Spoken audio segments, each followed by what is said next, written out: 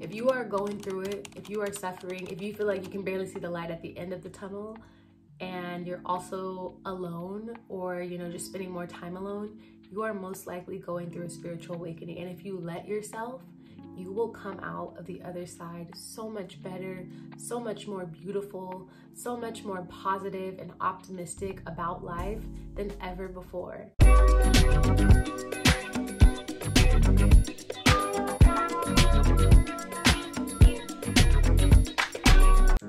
Babes, welcome back to my YouTube channel.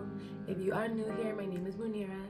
Okay, make sure you like, you subscribe, and you share and you comment and you do all that good stuff because that helps me with the YouTube algorithm. It lets YouTube know that you like my stuff, you like my videos, and it also pushes my content out to other people who may enjoy my content as well. So honestly, I feel so calm. I feel so calm and centered and serene and it's probably because I meditated today, did my yoga practice and I got all cute, okay? but I'm really excited about today's YouTube video because I am doing a deep dive into my spiritual journey and how I became so spiritual and everything that encompasses spirituality for me. There's a main theme to this conversation, which I'll dive into that later, but let's just jump right in and begin, okay? So, as you know, my name is Munirah and when I was, you know, in my mom's belly, my mom and dad were going back and forth about what my name should be. My mom wanted my name to be Yasmeen, which is my middle name. And my dad was like, no, I want her name to have more meaning because Yasmeen means jasmine, which is a flower. So Yasmeen means flower. And my dad was like, no, I want her name to have more meaning. And so he chose Munirah. And Munirah means one who enlightens, it means bright, and you know, like almost like a star, period. And I just love that story so much because my name encompasses who I am. And every single time someone asks me what my name means and I tell them, they're like, look at you, enlightening me. And I'm like, yeah. Growing up, I didn't really like my name only because it was hard to pronounce for other people, but I love my name now and I'm so grateful. And I say that because that kind of marked, you know, my spiritual journey. One who enlightens, one who shares knowledge and, you know, is wise. That's a big name to hold at such a young age, you know? And so I've always felt like my dad kind of knew me because my dad passed away when I was four. So I always felt like my dad knew me. Like even though I don't know him very well in the sense that I didn't get to spend a lot of time with him here on earth in the 3D realm, I feel like on a spiritual connection and on a soul connection, my dad just knew. My dad knew my purpose. My dad knew how special I am and not saying other people aren't special, but he just knew. He just knew. As a child, I grew up Muslim. So my dad converted to Islam before he met my mom, and um, my mom's parents converted to Islam when she was like a little baby. So I was raised Muslim. My dad was much more strict than my mom. My mom always said, like, I'm Muslim, but I'm more spiritual than religious. And I kind of adopted that as well. So I wasn't raised super strict, like when it came to Islam. My mom didn't make me cover my hair with a hijab. I prayed uh, until I kind of stopped.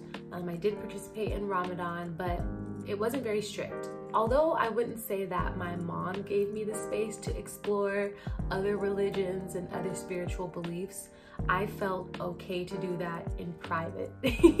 I'm a Gemini, so when I was younger, people would hear like, oh, you're a Gemini, and they would automatically like not like me or like give me a stank eye because you know, Geminis have a bad rep, which I understand the underdeveloped ones are a little crazy, but through that, I started to like, you know, get into horoscopes because I kind of felt like that helped me understand myself better. I, I felt really misunderstood as a kid. I felt like a black sheep. I felt like I just, I always felt super misunderstood.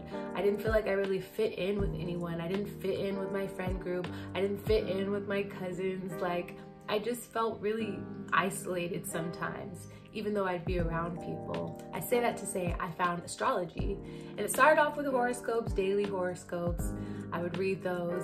Naturally, with time, I dove a little deeper. I started to learn about my rising sign, my moon sign, like, and just kind of reading the whole birth chart. And that opened my mind so much because it really helped me understand myself. I was like, oh, this makes sense. Like, and some people would find out I was a Gemini and then they'd say, oh, I like you, even though you're a Gemini. I don't really like Geminis. And then I realized I have a lot of earth placements, specifically Virgo, but that kind of helps ground my air energy because I have a lot of air and earth placements. Oh my gosh, there's a beautiful feather flying around. You see the symbolism? You see the symbolism? As I'm saying air energy. Anyways, let me calm down. so yeah, in middle school and in high school, I was into astrology and I would say in college is when I found out about my moon sign, my rising sign, and like just really being able to read a birth chart and learn so much more about the signs and even degrees, like all like that happened in college. But when I got to college, I went through one of my first like heartbreaks. This gets me into the whole spiritual journey and like the bigger message at large is that pain and suffering is necessary to begin a spiritual journey. I think it's very rare for someone to begin a spiritual journey from a place of happiness and a place of contentment because there's really no need to seek anything. And when you are suffering and when you are in pain, that is when you start to search for something bigger than yourself, something bigger than this earth, something bigger than what you can see. You start to search for something that the eye can't show you. That is how my first spiritual awakening began, at least my first spiritual awakening as an adult. And so I was in college, it was my sophomore year, and I had gone through like one of my first heartbreaks. When I look back, it wasn't a heartbreak. It's something that they call, I think they call it cathexis. If you've read Bell Hooks All About Love, she talks about this. Essentially, this word means like it's a bond with someone, just like a physical bond or like an intimate bond. It's not love, but it's just a deep connection to someone. And I had experienced, you know, my first little heartbreak and around this time, it was summertime, and my best friend, she was going home for the summer. I was staying in our college town, so it was just me. And then we had roommates, but we did not get along with them at all. So I just felt super alone and isolated. And the person that I was heartbroken over was also leaving. So I just really felt so alone. And I grew up sharing a room with my sister literally all my life. Like, I was sharing a room in college when I um, moved in freshman year. I did the dorming thing and I shared a room with someone. And even sophomore year of college, I was still sharing a room. I was sharing a room with my best friend. So I didn't really get to spend a lot of time by myself. I was always around other people and I was always trying to do something. And this gets me into the second thing that is required for a spiritual awakening or just like beginning a spiritual journey is isolation. So pain and isolation are two major things that kind of like they're like a catalyst to your spiritual journey and your spiritual growth. So here I am all alone. I'm heartbroken. I don't really have anyone that I can, you know, be around all the time. And so I start spending a lot of time by myself. And although at first it was very hard, I started to find new things to do. I started to pick up hobbies. I started to draw during that time. I started to work out more. I started to eat better. And within two months, I dropped 10 pounds. Mind you, I had been trying to lose weight like my whole life. Like a lot of people around me were very fixated on being thin and you know they were fixated on my body so they made a lot of comments about my body that i internalized and so i spent a lot of time trying to lose weight i wasn't even actively trying then i was kind of just like following the routine and i dropped 10 pounds so by the time junior year rolled around i looked so good like i looked really good i also started to really enjoy being alone and at first, I didn't enjoy being alone because I have a lot of thoughts. I'm very mercurial. I talk about this all the time. I have a lot of air placements. So my mind is always going. And sometimes I didn't want to address the things that my mind was saying. And that was for, you know, various reasons. Sometimes we speak to ourselves very unkindly. And I was being very rude to myself and I didn't want to address it. I didn't want to address the heartbreak. I didn't want to address anything, but being alone forced me to. So during that time, I was able to reflect. I was able to really feel my emotions and process them for the first time and not have someone tell me I was being dramatic or that, you know, to get over it. I was able to sulk and it felt really good.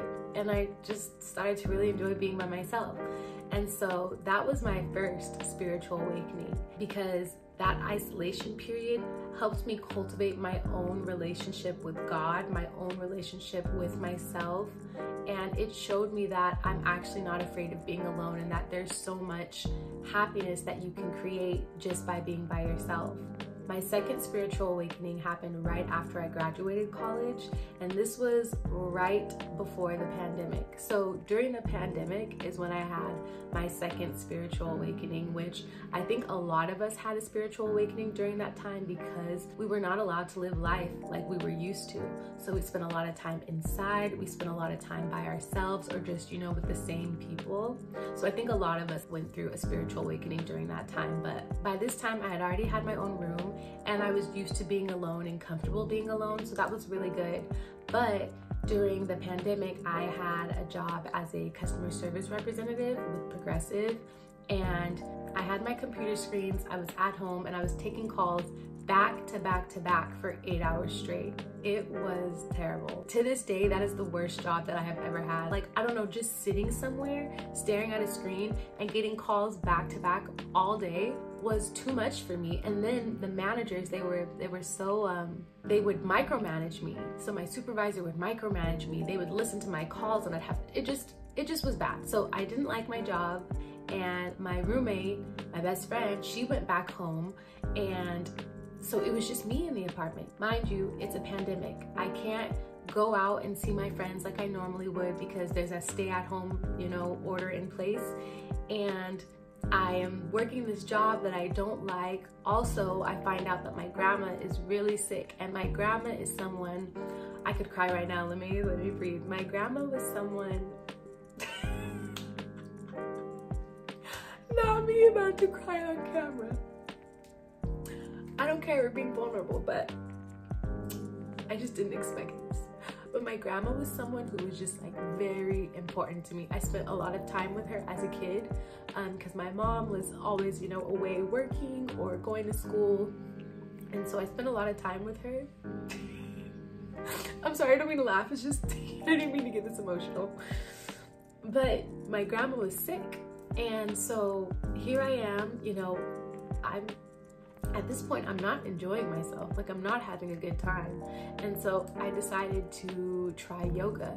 So I started to watch videos from yoga with Adriene and I would do that before work. I would do it on my balcony because I had a balcony thankfully. I would do that. I would listen to the birds chirp. I would you know feel the sun on my skin and I would talk to God because I was in this low phase again. Like I was in this low state again. I was alone, I was suffering, and I would just be like, God, like, please help me through this. Please help me understand. Please, you know, guide me, show me, show me what to do, show me where to go because I didn't have any answers. I didn't know what to really do. And yoga really, really, really helped me connect deeper with myself. It helped me, you know, deepen my breath and like really connect to who I am. Because this body isn't me. It's me right now in this lifetime, but it's not my soul. It's not, you know, it's not the light. Because I feel like we're all just little balls of light, you know, just little balls of light shining around playing little characters. And so yoga helps me deepen my relationship with myself and my relationship with source, God. I use source, God, the universe all interchangeably. Like they're all the same thing to me. I, I forgot. Also during this time, I was going through some other stuff. I was going through another heartbreak and it wasn't even a heartbreak because I actually couldn't wait to get rid of this person. Like I had been praying to God, like help me get rid of this person and I finally found out some information that I needed to find out so I could block this person and go. That was the first person I've ever like ghosted for real.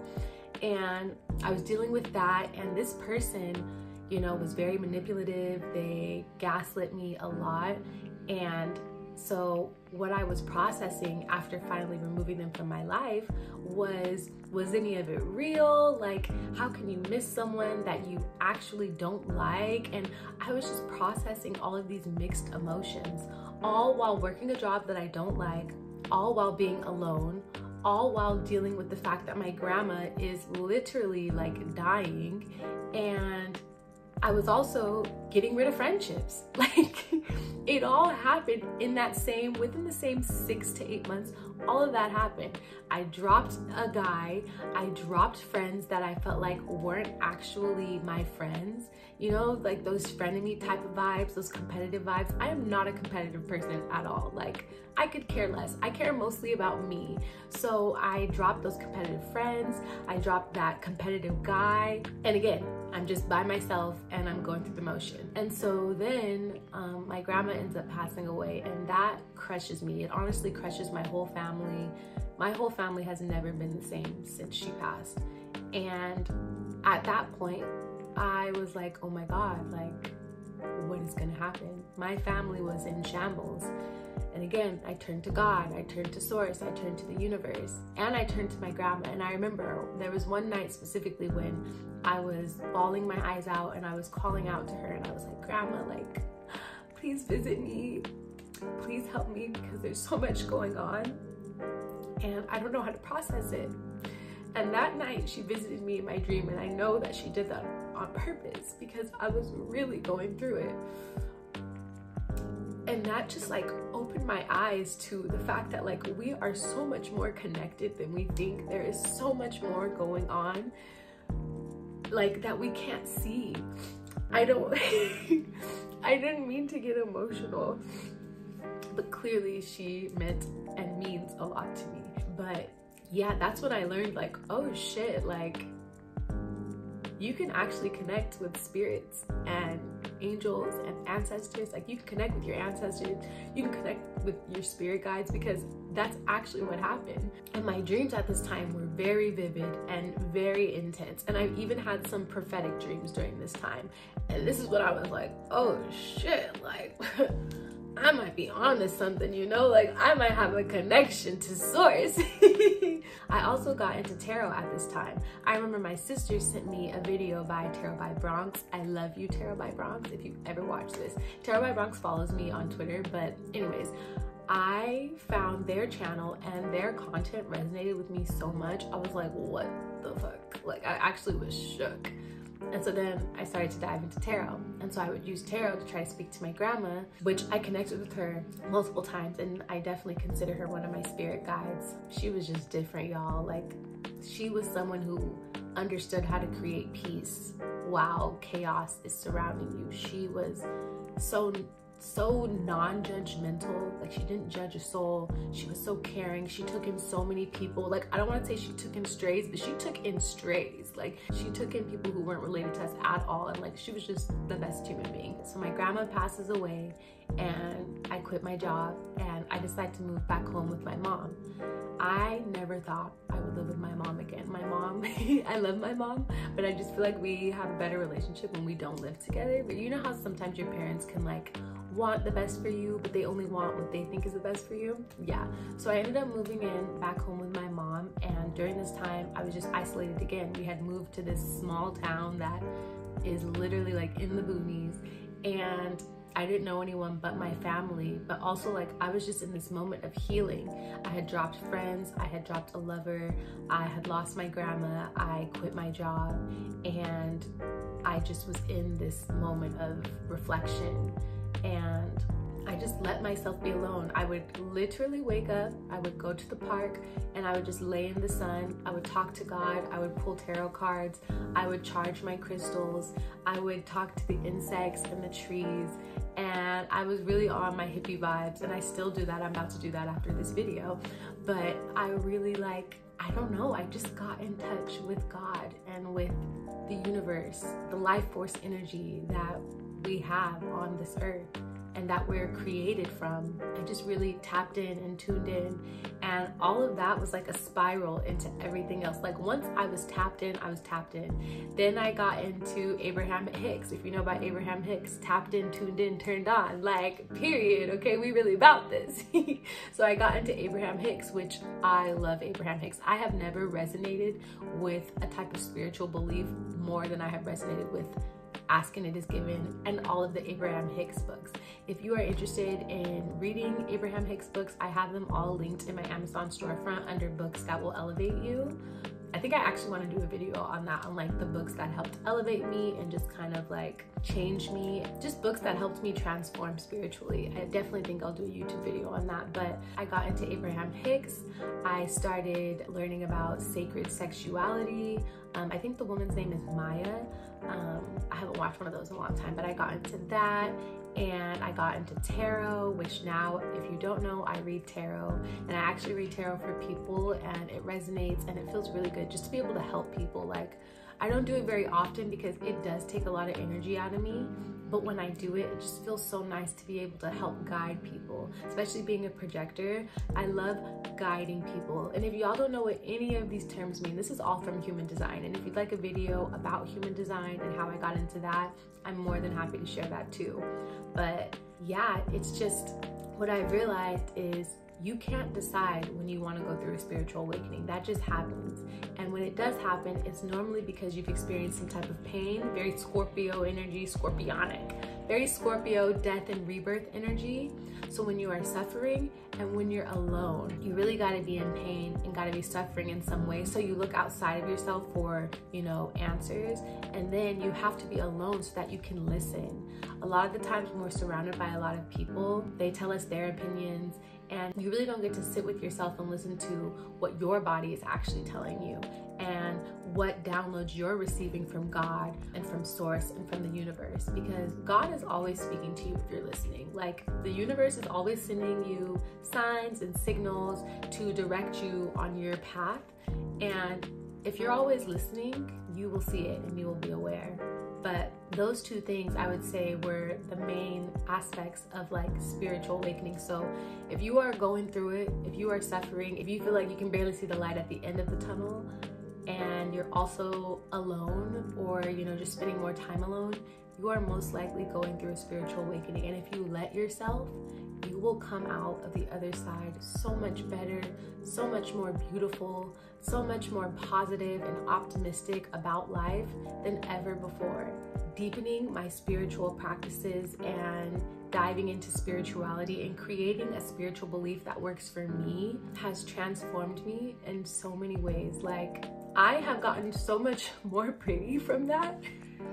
Not that that's the only thing that matters, but like legit, I have gotten prettier from ascending. I have gotten more knowledgeable from ascending. I have better discernment. I choose better friends. I choose better lovers. Like, I make better decisions for myself. I take care of myself differently because I have learned and I have grown and I have expanded. And I'm so excited because I'm actually currently going through another spiritual awakening, which I'm not comfortable speaking about yet. But I'm just really excited to see where I'll end up at the end of this journey. Of course, the journey never ends, but you do go through periods, and I am just so excited to see where I'll be at at the end of this period because I think it's really about to crack me open. And yes, I had to go through some pain just to get to this point, but it's always worth it always. And we always have a choice. Sometimes people let pain, you know, harden them and they let it make them hate life and hate other people. I just really don't think that you should let that happen. Hardening yourself doesn't do anything for you, doesn't do anything for the people around you and your loved ones. It just creates distance between you and another person. It creates distance between you and you, and you never want to be disconnected from yourself. I highly recommend taking the road less traveled, which is to feel more, be more vulnerable, level up. Like, choose to level up. And I mean level up spiritually. The spiritual wisdom that I have now is so priceless. I don't think anything material could ever replace the spiritual knowledge and the love that I have learned and grown and created and cultivated. Like, nothing will beat the spiritual lessons that I have learned. Nothing in this earthly realm will ever beat that we sometimes get confused and think all the material things are the most important, you know, like having the nice house and the nice job and the nice car and making all this money and being able to buy this and that. And that's fun too. We're literally here on earth to experience earth. That's a part of the journey. And I love that. I love some luxury items, okay? I love that. But I know that that is not the main goal. I know that that's not the most important thing. And I'm so glad that I'm aware of that because, you know, a lot of people can get mixed up in that. And if you love material stuff, love that. I am not going to stop you. I am not going to shame you. I just think that you can enjoy it a little bit more when you have that spiritual connection and when you understand that everything is deeper than it appears nothing is really surface level with the way earth is created and the way that things are going in life. My spiritual journey has helped me see things through the eyes of God. It's helped me see myself through the eyes of God, see how the world works through the eyes of God. And that has been one of the biggest and most rewarding changes that I have seen in myself. I am also just way more hopeful. I have so much more faith. I really believe that everything is working out for me. Even when something happens that I wish wasn't happening, I know that at the end of the day, it's working out for me. Nothing ever happens to me, it only happens for me. Now, like I would say, I'm not really a big religious person. I think I can connect to people of many religions because I don't judge. Like, I'm not judging you for your beliefs. Normally, it's religious people who judge me because they think it's like woo woo stuff, you know, witchy or whatever. They hear the word ritual and they get scared as if they don't have their own rituals. But personally, I feel like religion can be very divisive and I told you I'm not about competition, I'm not about division. Like I don't I don't appreciate that. And so with religion it can be very like my way or the highway, like there's only one religion that's right. And I just don't think that. I think that everyone is going to have their own spiritual beliefs, their own religious beliefs, and that's okay. It's whatever works for you. As long as you're not harming anyone, making anyone feel bad, you know, or, you know, putting anyone in harm's way, including yourself, I love it for you and I feel like that's how it should be. If you've made it to the end of this video, thank you so much for tuning in, for listening to me share my story, for giving me a safe space to share, and for being a part of my community. If you're not a part of my community and you'd like to be, feel free to subscribe. Remember to like this video so that, you know, it helps with the YouTube algorithm and it helps me reach my community because I'm really on this journey of you know, connecting with others and creating an authentic community where we help each other and we support one another and we share our experiences. We are vulnerable with each other. And sometimes it feels really hard to be vulnerable, especially online, but we're combating that this year and we're being consistent. I saw I had a new subscriber and they said, I hope you're consistent. And I was like, girl, me too. That's what I'm doing. That's what we're working towards. So, Thank you so much for tuning in. I hope you all have a beautiful day. And just remember that if you are going through it right now, know that you will get through it. God is always on your side. You have spirit guides, a spiritual team, you have your ancestors. Like everything you're going through is so much bigger than you. And I just hope you understand that.